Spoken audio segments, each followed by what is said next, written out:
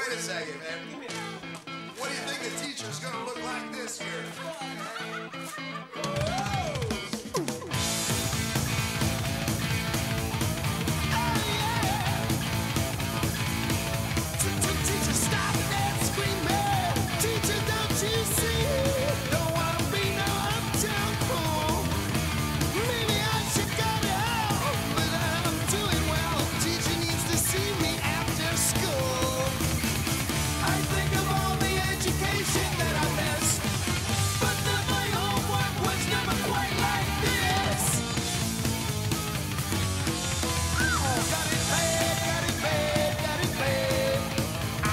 teacher.